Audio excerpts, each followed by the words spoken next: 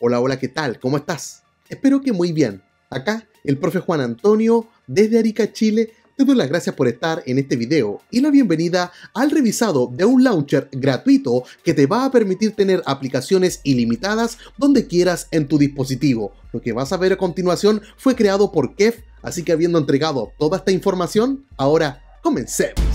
Lo primero que vas a hacer es ingresar a la aplicación con la cual tú instalas los tweaks, puede ser el gestor de paquetes de Cydia, al igual que el de Zebra, también te va a servir en Installer y esta demostración la haremos con Cilio. Una vez que hayamos ingresado, vamos a venir a la esquina inferior derecha donde está el buscador y vamos a estar escribiendo el nombre de este tweak que es Rofi. En el día en el cual se está grabando este video va en la versión 1.2.2 y se encuentra gratuito en la repo de Charis. Así que vamos a estar presionando en el botón de obtener. Cuando se habilite el banner lo vamos a estar tocando, le damos acá en confirmar y esperamos a que el proceso de descarga e instalación finalice. Una vez que lo haga se habilita el botón para reiniciar Springboard, así que lo vamos a estar tocando. Y una vez que hayamos regresado, ahí lo vamos a tener en esta pestaña las aplicaciones que nosotros queramos y es lo que te voy a mostrar a continuación. Si te diste cuenta, funcionó en la pantalla de bloqueo y también lo está haciendo acá en la pantalla de inicio. Así que ahora vamos a ver todos los ajustes que nos ofrece Rofi. Vamos a ingresar a las configuraciones. Una vez que estemos acá y hayamos encontrado el tweak, aquí lo vamos a tener. El primer botón es el clásico para tener apagado o activado este tweak. El segundo tiene que ver con las notificaciones que se ven en las aplicaciones. Si te das cuenta, si yo deslizo aquí hacia abajo, en Twitter me aparecen dos notificaciones. Entonces, si quieres que aparezca ese globo con las notificaciones, tienes que tener encendida esta opción. Pero si quieres que no aparezcan teniéndolo apagado, no van a salir. En mi caso, lo voy a tener allí activado para no perderme ninguna. Y también tenemos la opción para hacer más grandes los iconos que aparezcan en el launcher o estar reduciendo su tamaño. Viene por defecto allí en el 1.0. Nos dice que para que se apliquen estos cambios, tengo que estar tocando en la esquina superior derecha el botón del Respring. Y luego viene la opción para estar seleccionando las aplicaciones que van a estar apareciendo ahí en el launcher.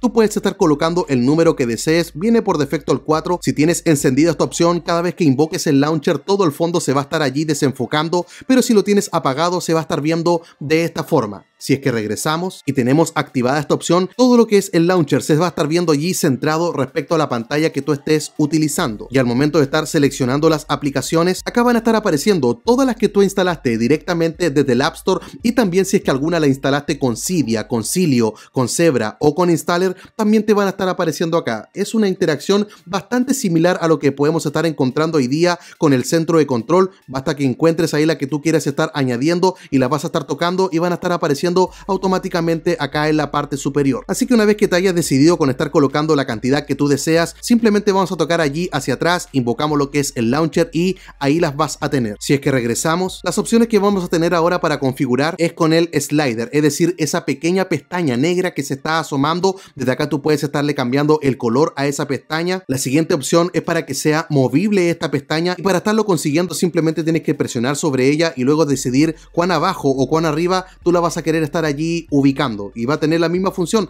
deslizas hacia adentro y ahí van a aparecer tus aplicaciones. Ahora desde acá también tienes la opción para estarla presionando y estarla moviendo hacia el lado opuesto de la pantalla y estar invocando todo lo que es este launcher directamente desde acá. Así que al final la puedes estar ubicando donde te sea más cómodo. Ahora, si es que al momento de estar tomando una captura de pantalla tú no quieres que aparezca esa pestaña, tienes que tener activada esa opción. Y si te das cuenta, el borde que tiene esta pestaña se ve allí como un poco gris y es porque tengo activada esta opción. Desde acá tú lo puedes estar incluso modificando el color del borde si es que así tú lo deseas. Las siguientes opciones que aparecen acá del slider es para estar haciéndolo más grande o más chico si es que tú lo quieres o estar haciéndolo un poco más grueso o reduciendo su tamaño. También puedes estar modificando acá la visibilidad que este va a estar teniendo en cada una de las aplicaciones en las cuales esté allí visible. Y lo siguiente que aparece acá es lo del timeout, que viene a ser como una cuenta regresiva para que la pestaña se esté ocultando. Acá yo lo tengo para 5 segundos, basta con que simplemente lo tires y 1, 2, 3, 4,